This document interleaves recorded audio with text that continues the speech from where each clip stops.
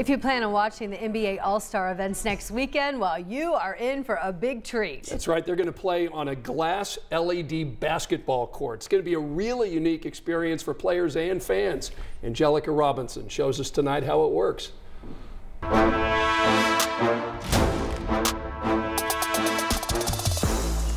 It's not your traditional basketball court.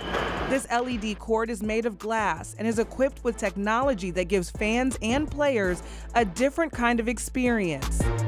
Tell me what is interactive about the floor. So we use different types of athlete tracking systems that we combine with our whole um, technology side. The technology allows Christof Babinsky and his team to track an athlete's location on the floor, how fast they're moving, or how high they jump. Uh, as we move, these circles will move with us, indicating our position on the floor.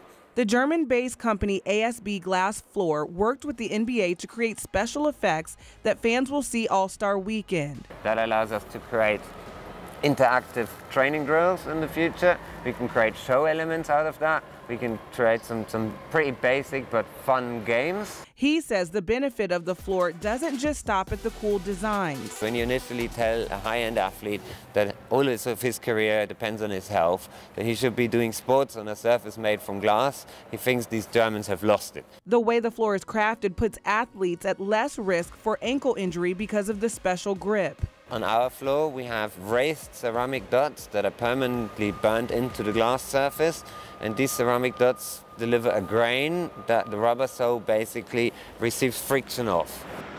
He says teaming up with the NBA to show off the features on an international platform will allow the world to see its value.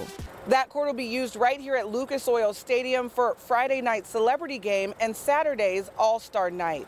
Reporting in Indianapolis, Angelica Robinson, 13 News.